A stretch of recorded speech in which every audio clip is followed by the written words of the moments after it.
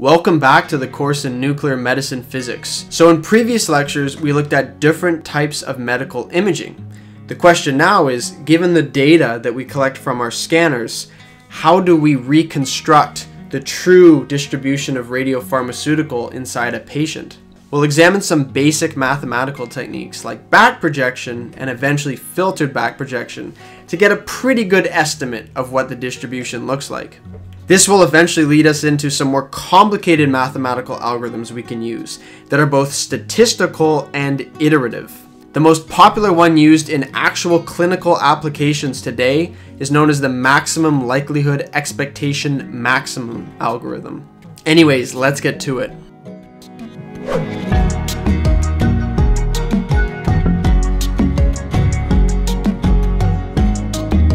Okay, so let's not talk about tomographic image reconstruction. We just talked to you about principles of computer tomography and specifically emission computer tomography.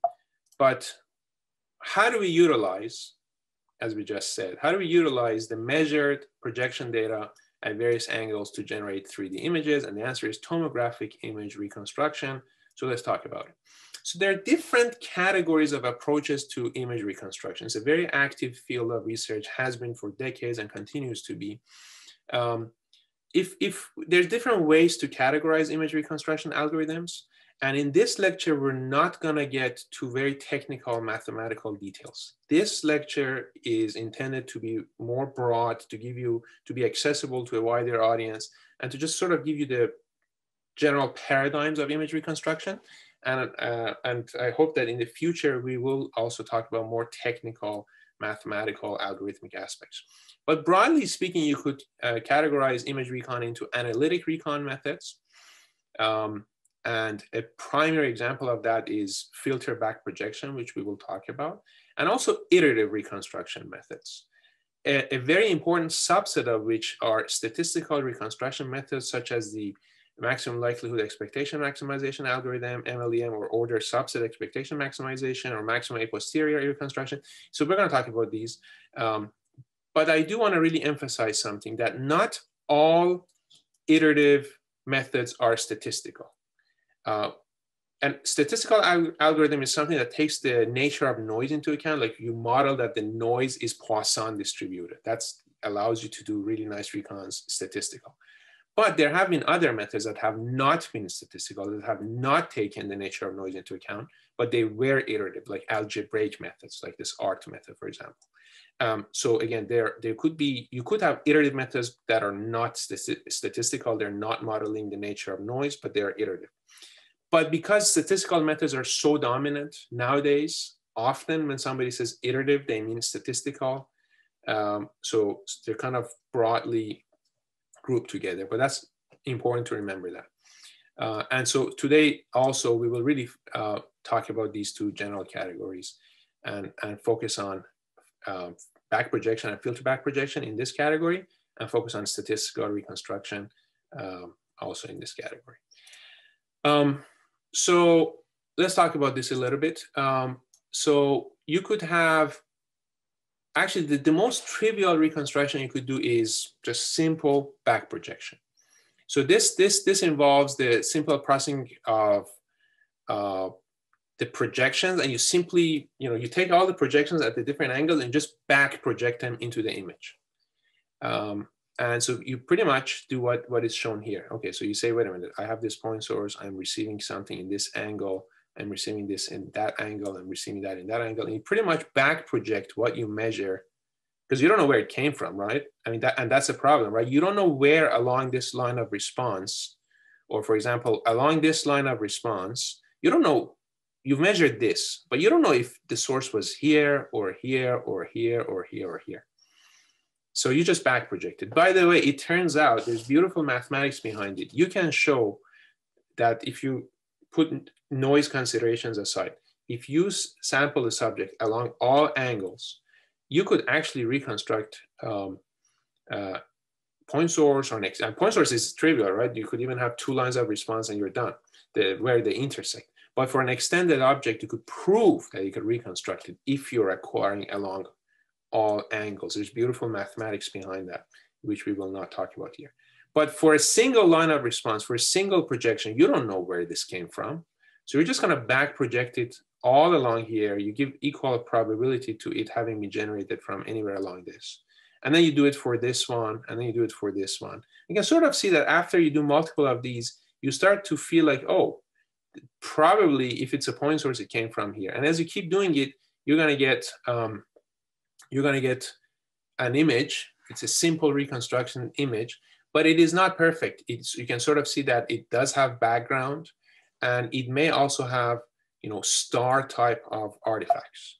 Uh, depending on the number of projections. So if you only use two projections, whether four or eight projections, you're just back projecting all these.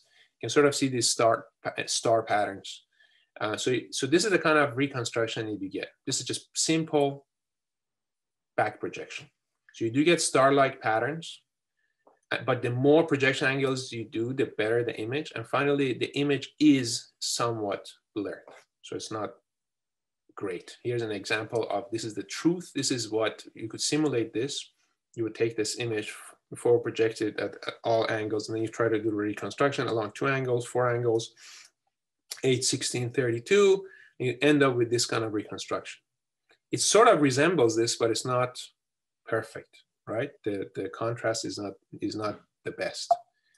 Um, yeah, so, so then you start thinking, wait a minute, is there a way I could be first filtering? This is not intuitive at first. You, if you filter the, the projections before you back project them, you could actually end up with an image that looks far better than when you haven't filtered. But you would be wondering, well, why would I filter and back project? So this is sort of showing the end first, saying by filtering and then back projecting, and therefore filtered back projection, we could get far better images. So what is this filter that can do the job? So again, here's an example of the original image that, for example, you could simulate or you could measure on a scanner. This is a back projection image, does not look fantastic, does not look great at all, actually. And this is when you do filtering and then back projection, looks far better. So what is this filtering operation? So again, let's take a step back. Back projection, you're just back projecting lines of response onto the image, but you end up with this sort of high background that is happening. So if you have your signal like this and you start to filter it, for example, with a sinc function, and we'll talk about this, and then you back project, it looks kind of weird. Why would you even do that and then back project? It almost seems like it's going to make the image worse, but it ends up making the image far better. Um, so just a toy example, imagine this is your object, your true object. You're forward projecting along this line, which means you're adding all these counts. So you get 18, 14, 1. And then let's say you're projecting along this line too, and you get these numbers. Um, okay, so now let's, okay, so we remember we measured this 18, 14, 1. So let's back project them. Well, 18, I don't know where it came from. So I'm just gonna give equal numbers to all these pixels. I don't know where this 14 came from. So I'm gonna equally give it to these pixels. So you do it for these angles. And then for these two numbers, nine, uh, three numbers, 959, you do a similar thing. You back project and back project and you add them up. So you get something like this. So this is your back projection reconstruction. And you see the numbers when you compare it with, with the original truth, they're not so great. But if you do um, filtering step first and then back project, you actually end up with numbers. For example, look at the central pixel. You actually end up with numbers that are closer to the truth, that are better. Okay, and it turns out again, if you're sampling at all angles, this example is only for two angles, going like this and then going like that. If you do at all angles and you have sufficient sample, actually it turns out filter back projection can give you the true original image. So what is this filter or uh, you know, magical filter that is able to do this. It turns out, because of some very interesting mathematics that we hope to get to in, in future lectures, that if we do this convolution process, you know, adding, multiplying points by different um, numbers and adding them up, this filtering process, that if we convolute our projection profiles with a sort of a filter that looks like this. This is a sort of a sinc looking, it's not a strictly a sinc function, it's a sinc looking, uh, like a scaled and shifted sinc function um, that um, you can actually, if you do that process and then do the back projection, so you look at each projection profile and you do this convolution with this kind of a uh, uh, function or filter here, and then you do the back projection, then uh, the blaring that you get from the simple back projection will be removed. And so, so let's get a better feel about what this filter is doing. Uh, and that requires us, of course, understanding the uh, Fourier analysis and the Fourier transform, um, which, which, which is obviously, which is uh, something that many, many of you uh, have heard about, have worked on. Uh, but just as a general, very quick, brief uh, introduction to that, essentially we're used as human beings to think of objects in the spatial domain, but you could have a equivalent representation of any signal, including an image, in the Fourier domain. Um, and that basically means that you're sort of any signal, uh, including image, you can uh, aim to represent it as a linear combination of various frequency waveforms like sines and cosine uh, uh, signals. So in this case, you know, this central point in, uh, point in the frequency domain corresponds to like a DC, like a flat background effect. And then as you move away from the center, you're getting higher and higher and higher and higher frequency representations um, of this image.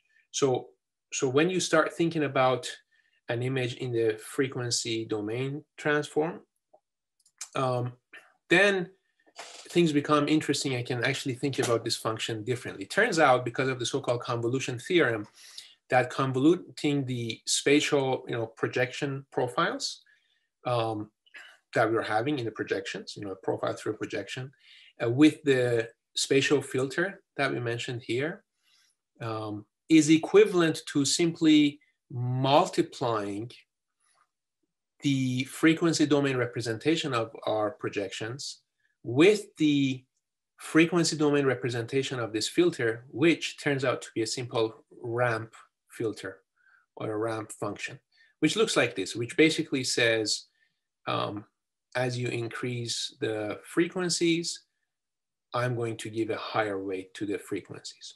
So again, you could be taking the projection profiles and then filtering them like this in the spatial domain and then doing the back projections, or you could be taking the projection profiles into the Fourier domain, looking at their uh, uh, uh, frequency decomposition, and then multiplying those by this weight function, by this ramp filter.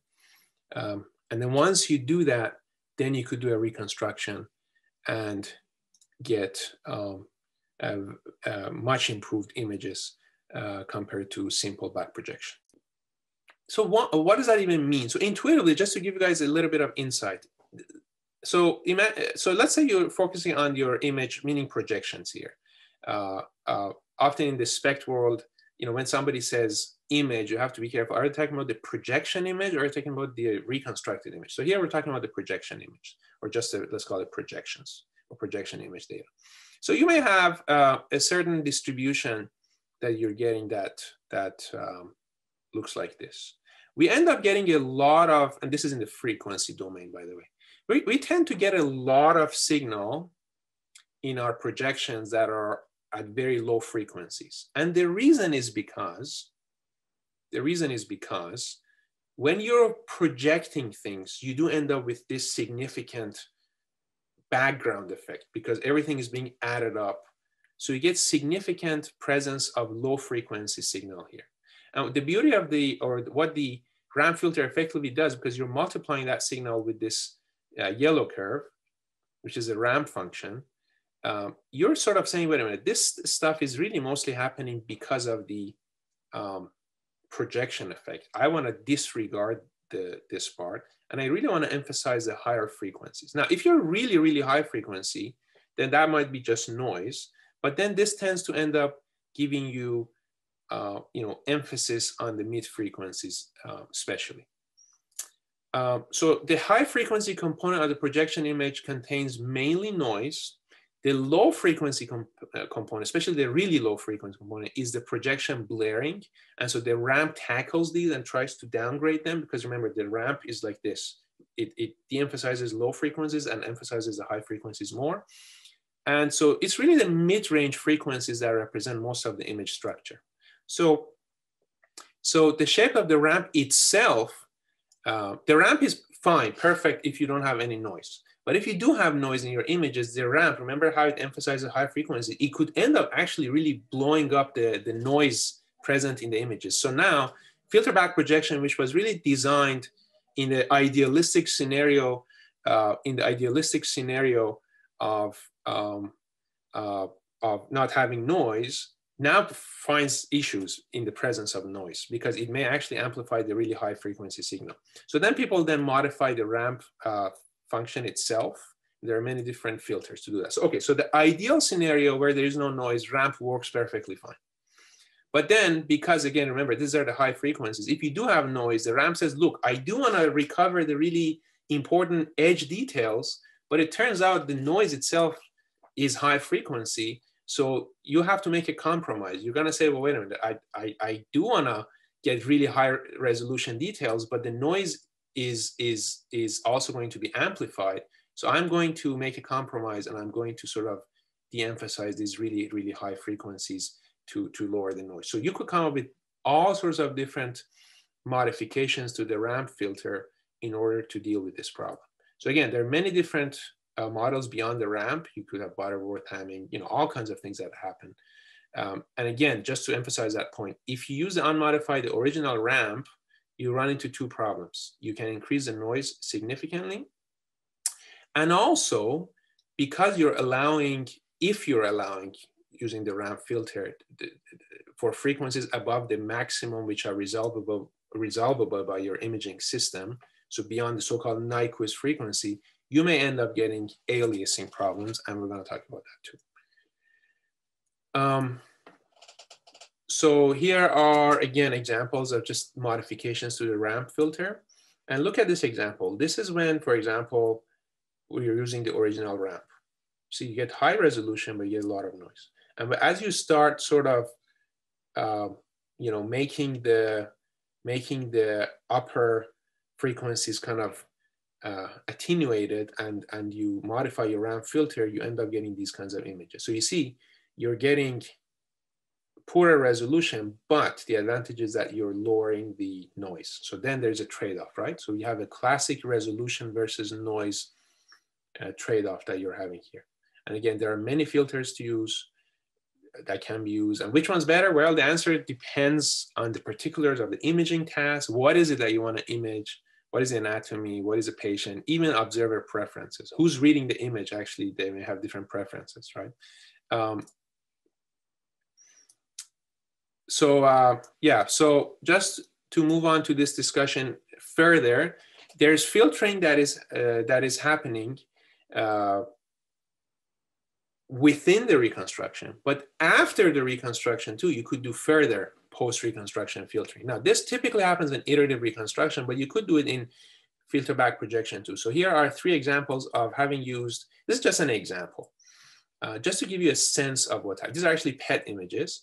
So you sort of have done the exact same uh, filter back projection reconstruction, but then the post smoothing using, let's say, Gaussian filter, uh, the post smoothing is, is being done at increasing amounts of the full width at half maximum of the Gaussian. You sort of see again, you're losing details, but you're also lowering resolution.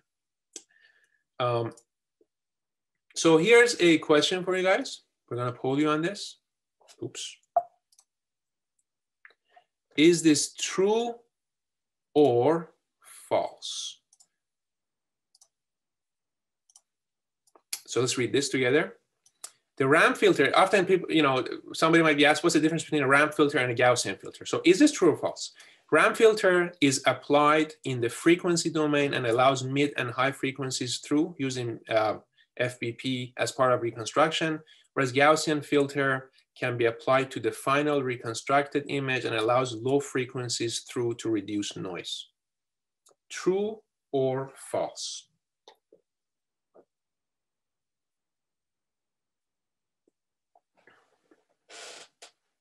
There's many different kinds of filters. That's one thing. We just learned modified ramp filters, but also there's different categories of filters. Like, are you doing inter reconstruction filtering? Are you doing post filtering? And, you know, is the ramp filter done during reconstruction or after reconstruction? You know, and, and is a Gaussian filter typically done in a post-reconstruction sense, and what do they do? Yeah, so, right, so let's, uh, yeah, so most people have, um, have answered cor correctly. This is true. This is true. Um, and again, the idea is the ramp does have to let mid and high frequencies through. Otherwise, through the projection, you're losing the emphasis on those higher frequency signal that is being blared out due to projection. So this is inter-reconstruction filtering. Whereas at the end of the day, if you're doing some kind of a reconstruction and get a lot of noise, you could remove the noise um, or reduce the noise by allowing low or lower frequencies through to reduce noise. Okay. So yeah, we're talking about when I say Gaussian filtering, we're talking about you know uh, typical typical Gaussian filtering, low pass uh, signals that we're talking about, low pass filters. Okay, so let's talk about aliasing. Here's an image of aliasing. Many of you might have seen these kinds of images on old TVs and things like that. This is what you know these kind of waves and ripples that you get. So this this relates to the so-called Nyquist frequency which is a maximum frequency resolvable by your imaging system, which is a function of how uh, regularly are you sampling your image, how closely spaced, what is your sampling rate? Now let's think space. So how, how what is your sampling in space? Um, and aliasing is the appearance of high frequency components um, that take the image of or appearance of having low frequency variations. And I know a good number of you would have seen this in other courses on radiological imaging, but just to really recap this for everyone. So there's a sampling theory, a theorem that sort of says that for you to recover spatial frequencies in a signal up to a maximum frequency, say, let's call it F max, if you want to recover F max, you really need to linearly sample uh, and the linear, linear sampling distance being delta R by this equation. Um, so here's the equation. You need to be sampling at least twice as rapid as that distance. So for example, so this is one over two F max this is the equation, but you could sort of change this one over F max uh, you could call it lambda. This is in the numerator, not denominator, right? This is this is in the denominator. Two times f max is in the denominator, but here lambda is in the numerator. So half of lambda mean. Lambda mean you can think of it as like the smallest cycle length. Like let's say on this image, it would be the brick, the brick size. You're having these bricks. You want to image them properly. Turns out you have to sample at least at, at half the sampling distance or the cycle length. So if these are this is these are your cycles, and lambda is this distance here, you know, the, the smallest cycle length that you're interested to, to achieve, you, the, the, the sampling theorem tells you that you have to be sampling at least twice as fast, at least twice as fast. If you're not sampling at least twice as, uh, the frequency is not twice larger than the thing you're trying to recover. Sampling is not twice as, as better as the actual uh, frequency you, you, for example, you may sample like this and you end up thinking that, oh, wait a minute, I have this kind of a waveform, which is totally not real. And kind of like these ripples, you start to see things that are not real. Uh, and it's happening because of the aliasing effect. Um, so, but I think in medical imaging, these are the kind of, you know, in signal processing kind of things that you learn. But in practical rule of thumb approaches, I think there's a good one, and we often don't think of the maximum resolvable, you know, frequency. We tend to think of the full width at half maximum that we want to to recover. Okay, so it turns out for practical purposes, you need to be sampling, you know, you need to have about three samples uh, for that given full width at half maximum. Okay, so your sampling rate, let's say the, the way you're spacing your detectors that are to sample the image, it should be like three times finer, smaller, finer than the full width at half maximum that you want to cover. Now, technically, even some people use maybe even, you know, as I say, it's two and a half, maybe even two. Some people use this and some people even achieve this perhaps because you're doing tomography and it's you're coming from all angles. But let's just remember this formula. This is a good thing, rule of thumb to remember. Um, So, so here's a, a, simulation that shows the sampling effect. So these are examples where you're doing the delta R. So this is how you're sampling here. The, imagine the detector is being placed here, um, being like this. And as you sample less, imagine using bigger and bigger detectors that are not fine enough to sample, you end up getting uh, two things. One is that you end up with, with uh, uh, poorer resolution, but also you end up getting um, aliasing. And that's because, um, in a sense, you're undersampling your object, right? So aliasing happens when you're, you know, there's a resolvable frequency that you have or you want to achieve, and then you're undersampling with regards to that, and that's what happens. So, so that's that. Now, so that's sampling effect. So how do we sample? right? Like detectors, how do I place my detectors? Like in my gamma cameras, how finely spaced should be the resolution of the detectors? Uh, but let's now talk about angular range. So here's a question for you.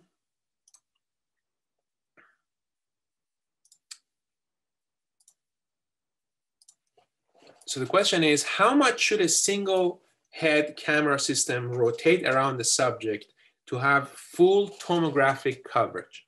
Is it 90 degrees? Is it 180 degrees, 270 degrees, or 360 degrees? Because remember, we said that for you to do proper tomography, and the, the mathematics says that you, you, you have to be um, covering the subject in a full manner. So you're obtaining data at the many, many, many, many, many angles, at, at all angles. So what does that mean? Does that mean that you need to be rotating around the subject only 90 degrees? Probably not, and nobody's selecting that. Or is it gonna be 180 degrees? 270 is probably not, nobody's selecting that. So is it really 180 or 360? that you need to, to achieve. So, so it's it's a mixed uh, it's a mixed uh, result here, and most are saying 360 because we're literally saying you need full coverage. But actually, it's 10 o'clock. Actually, the the correct answer is 180. And why is that? the reason is when you guys think about it, um, if you're having if you're having an image and you're projecting it, let's say in this direction, well, that's the same as projecting it in this direction. If you're just summing counts along a certain projection, whether you sum counts to go this way or you sum counts to go this way, that, that is supposed to give you the same number. In an ideal scenario, we're just summing counts. So technically, technically, in an ideal scenario where just summing counts, you're having a detector above the subject or below the subject. That's supposed to, if you have enough sufficient statistics, that's supposed to give you essentially the same numbers. So that's why the answer is 180 degrees. If you cover the subject at 180 degrees, you are covering all angles. You're not missing any projection angle because again, anything going to the bottom is supposed to be acquired uh, at the top, right? and yeah, and, and, it's and it's exactly true. That's why, for example, when we're doing heart imaging, that's a great comment we're having here. Uh, heart imaging, especially as the heart is you know close to this side of the body than that than the back of your body. So it, it, it makes a lot of sense to just be going at 180 degrees, not at 360 degrees. But in non-ideal scenarios, which what we have, it really depends where your organ is. If your organ is closer you know, for example, you you know, if you're only doing 180 degrees, you're not seeing the enough counts perhaps from the back of the body. Why? Because there's attenuation happening. There's also remember the distance dependent resolution that we're having. So it depends on the application. But theoretically speaking, 180 degrees does cover you tomographically. So full 180 degree coverage is required to correctly sample tomographic data but 360 degrees may instead be used in practice because resolution degradation, meaning with distance from the detectors, and also the fact that we have increasing attenuation and scatter as you're away from the face of the detector, these end up you know, if you're especially focusing not just on the heart, but you're looking at the whole body imaging, you're, you're you know, it, it does make a lot of sense to go all the way around. So you're kind of dealing with these issues of distance to the detectors. Uh, and notice what happens if you're under sampling. So if you're only doing 45 degrees, very limited imaging, you get something like this and get something like this, okay? Now these are with filter back projection type of reconstructions. If you do iterative reconstructions, iterative reconstructions um, tend to deal with fewer angles um, quite better. Uh, but you know, just in a classic filter back projection type reconstruction, these are the kind of things that we see. Okay, so, so we know we have to surround the subject with you know, detectors. We have to at least do imaging uh, along 180 degrees. Um, or, you know, for practical purposes, we may go all the way into 360. But those cover the various angles. But how finely should you be sampling? Kind of like the same question that we had about, you know, sampling in a uh, let's say by detectors, how finely are the detectors supposed to be placed? Well, how finely are we supposed to be sampling or uh, in an angular sense? How finely should we be rotating the detectors around the subject, right? And you can sort of see examples here where you, if you only use few angles or 32 angles, you're gonna get these kinds of artifacts. Whereas if you use like more, you know, higher sampling, 64 angles around the subject, 128 to you get better and better images. So there are some formulas that are put out there. I mean, the, the, there's a logic behind this that sort of says, especially if you want to look at the periphery of the subject and you know proper sampling, all that stuff, you sort of think of it as uh, an arc around the field of view, which is let's say has a diameter d, and you want to make sure that you're sampling the object along that you know, the, the periphery uh, as finely. So you're gonna take the, the arc, the 180 degree arc, and you're going to divide it by the linear sampling distance uh, delta R. So how many angles do you need to achieve that? Turns out to be this formula. And notice that D divided by delta R, just the D part, D divided by delta R is the diameter divided by the number of samples that you're having and that is just the number of basically samples that you have in a particular angle. Uh, but I do want to make a note that this formula is really for classic filter back projection type reconstructions. For iterative reconstruction methods, this can be relaxed. They, definitely handle missing projections better.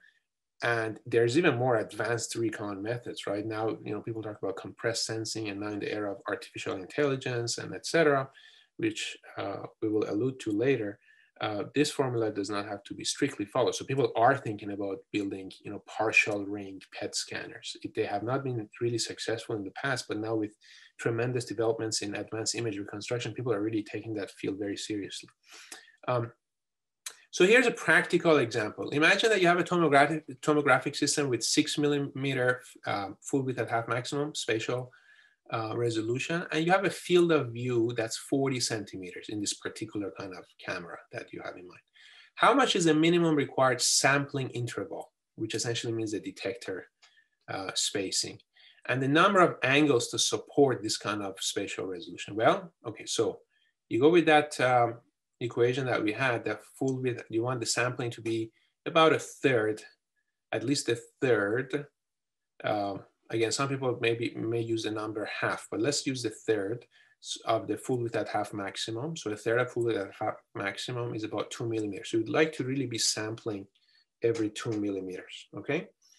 And what this means that you're going to have the number of samples along a direction, let's say the X direction, is going to be about 200. So you're gonna need like a 200 uh, by 200, for example, um, um, you're going to have, well, think of 200. You're going to have a 200 coverage um, and you're going to, you know, go around the subject. So typically we have, you know, square reconstruction matrices. And again, you're going around this, uh, the subject. So you really would need something like a 200 by 200 uh, sampling scheme.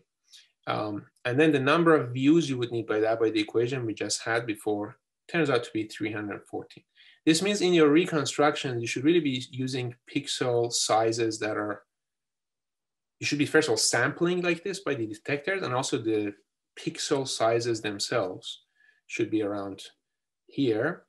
And in practice, this we, we may not have this option in our camera. We may, like in a reconstruction, we may have like 128 or 256. This means that you should not be using 128 reconstructions, um, or you may have um, you know, undersampling and all the problems that we discussed, right? The lower resolution, aliasing, things like that. So it's better to set it to be 256 if you have to, right? Then you may say, well, a minute, if I set this to be 256, does that mean that I have to also increase this? At first sight, you may say, well, yes, but actually the truth is this equation is for this full width at half maximum. So you don't really have to increase this number to, to achieve this kind of a resolution. It is sufficient to do 200 samples per profile with this number of angles, but in your reconstruction matrix, you could make it even finer, like 256 by 256, and you, it would be fine. Now, you don't want to make it too, you don't want to make the pixels too small because then they become really noisy and grainy. There's no need. You don't have sufficient sampling to make your reconstruction pixels so small. So there's no need for that. So here's a whole range of questions that you guys should take a look at and please try to attempt as you also do the uh, reading chapter associated with, with this lecture. So let's talk about statistical reconstruction.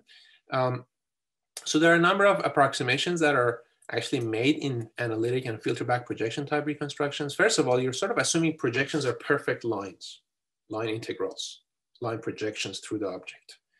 Um, you are assuming that you're not really modeling noise. You assume that noise is not there. You're not modeling noise, or if it's there, I, I'm not dealing with it. It's there, you know, good luck. And, and finally, you're sort of assuming that you're having projections at all angles, really infinite number of projections. That's where the math allows you to proves that FBP works very well. But in practice, that's not the case. In practice, projections are not perfect lines. You may enter a detector and you may scatter, for example, right?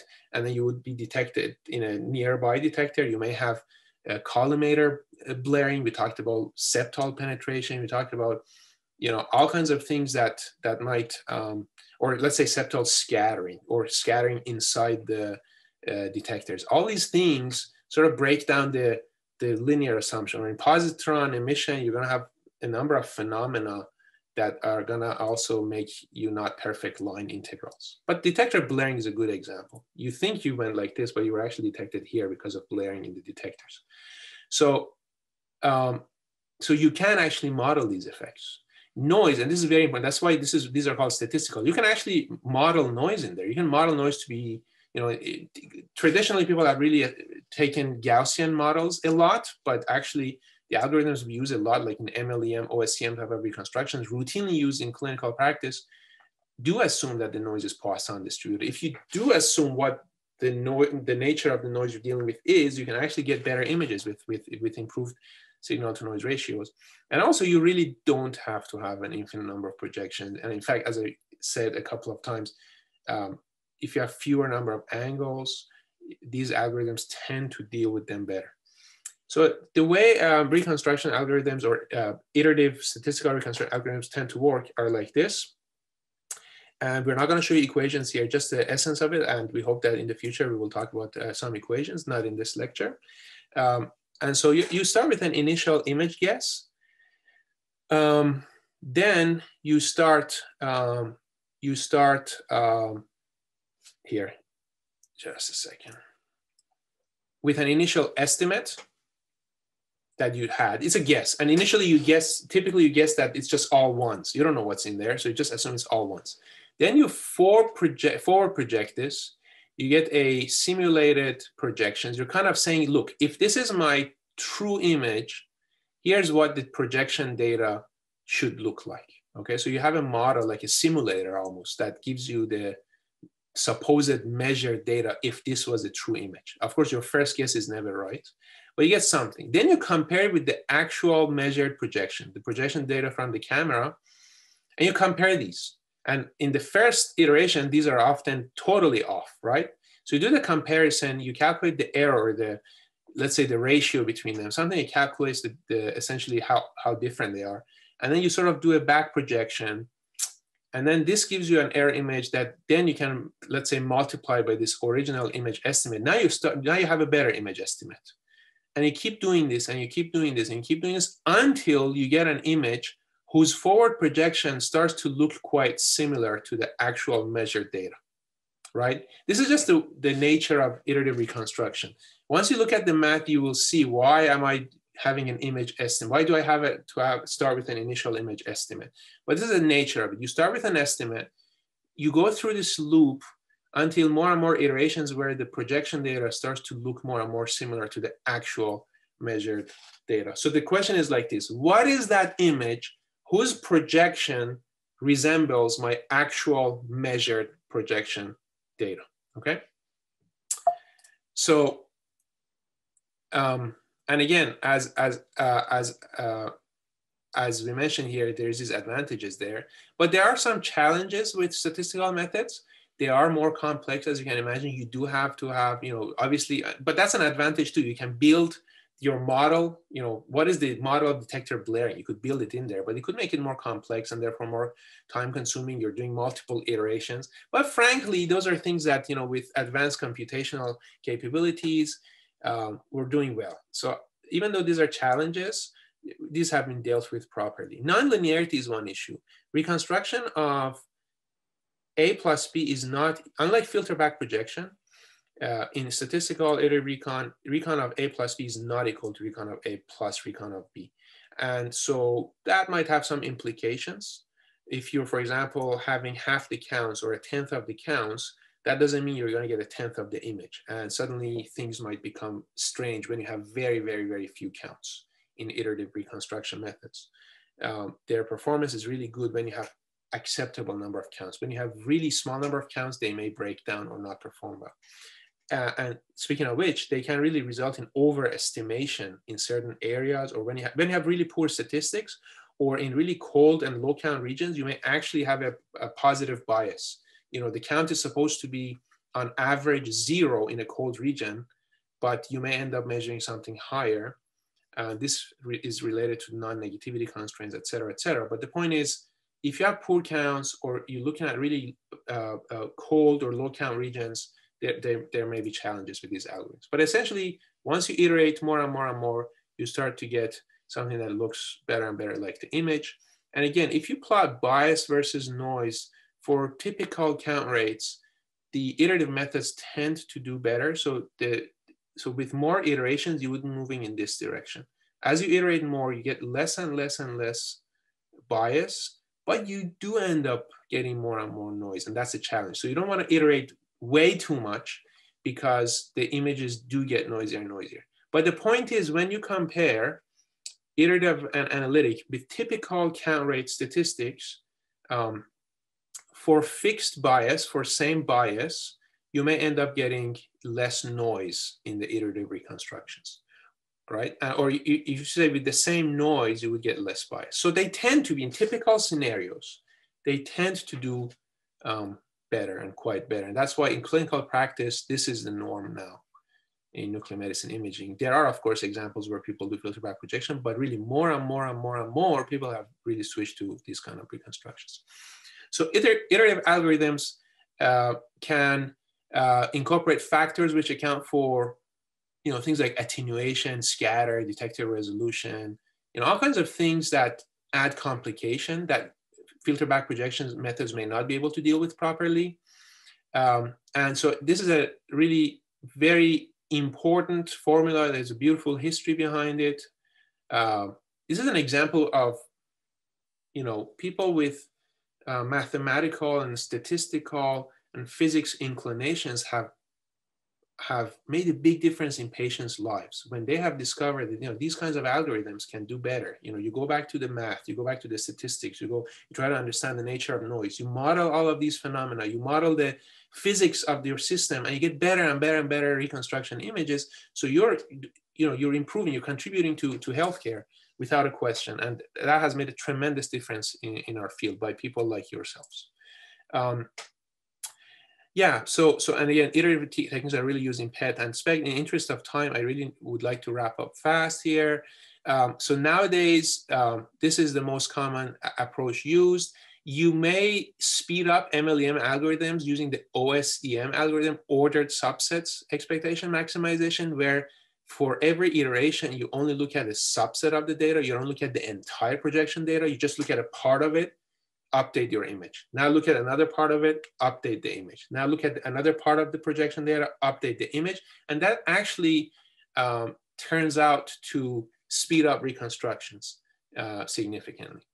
Uh, you can also incorporate prior belief, right? So in the context of Bayesian reconstruction or maximum a posterior MAP reconstruction, you could have you know prior belief. For example, you may say, I have a belief, right, that nearby voxels, at least within anatomical organs, uh, which can get guidance by, let's say, from CT or MRI, that nearby voxels should be similar in intensity. If you give me a final reconstructed image that has too much difference between two nearby voxels, I'm going to penalize you.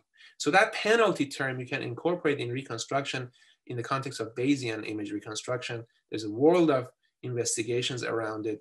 We even have products now in the market that, that do this kind of thing. The challenge is you often have hyperparameter or hyperparameters that kind of tells you how much do you believe what you believe? How much should I really emphasize this? If I see nearby voxels that are uh, really different in intensity, should I penalize you a little or a lot?